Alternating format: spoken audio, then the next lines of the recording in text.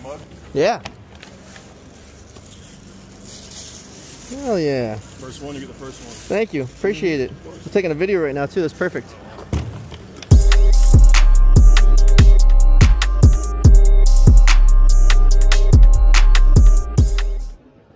Yo, what up? It's Bobby. I'm with the Dope and Tape Show. We're at the Inspect Point booth at AFSA 43. They're going to tell you all about it. Hi there, I'm Kim Glaze with Inspect Point. And I'm Jessica Graff, also with Inspect Point. We're super excited to be here at AFSA, having lots of great conversations with customers and prospects. If you're not familiar with Inspect Point, we're an inspection platform. We take inspection to resolution, uh, make it really seamless for techs in the field. We have a great iPad app as well as a desktop application for the, the folks in the office. And really, we're all about efficiency.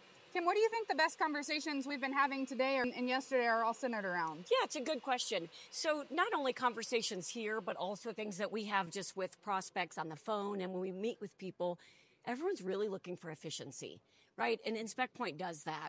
So, that whole inspections to collections and everything in between, you know, if you want to uh, manage your deficiencies, scheduling and dispatching, all of that can be done inside of Inspect Point, and it's easy, right? So That's right. everybody wants to have something that they know their techs are going to be able to pick up on, that's going to be stable, and we offer that. Yeah, you know, Bobby, one of the the exciting um, announcements that we had this year was around our integration with the compliance engine. That's been actually something we've, we've talked a lot with folks about saving them time on that. Auto, we automatically submit to the compliance engine form, resolve those deficiencies within compliance engine, and for a lot of folks, that's actually uh, allowed someone on their staff to free them up to do something else. And again, re- really just working on on increasing the efficiency and, and helping everybody do more business. Sounds like saving money, and making yeah, money. saving That's right. money, making money. That's That's right. that's the key. You know, the other thing is too. It's interesting because people at the show come by, and some have like two techs, some have two hundred.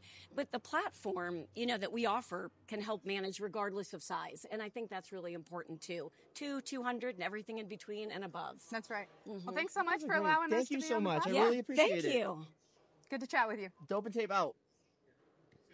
Good job.